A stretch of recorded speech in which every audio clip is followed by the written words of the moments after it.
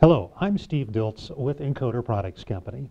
In this video, we'll take a look at the key features and benefits of the Model 30MT, EPC's newest magnetic incremental encoder module. The 30MT relies on EPC's advanced Hall effect sensor and a small end-of-shaft magnet to produce incremental square wave signals. The magnet is held in place by the optional magnet holders offered in a variety of sizes, either in overshaft or bore insert types. The housing is 30 millimeters in diameter and made of a high-impact polymer resin that tolerates high temperatures and harsh chemicals.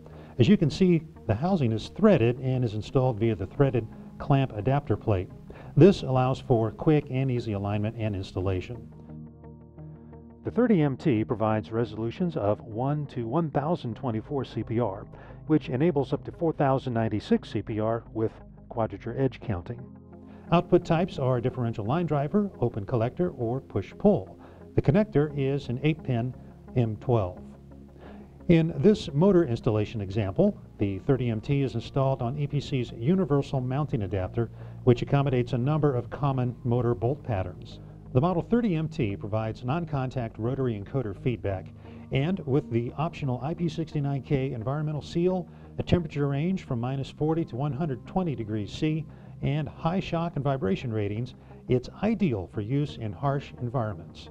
In addition, it's tolerant of axial and radial shaft misalignment, and with no bearings and a max frequency of 350 kilohertz, it's suitable for high-speed applications.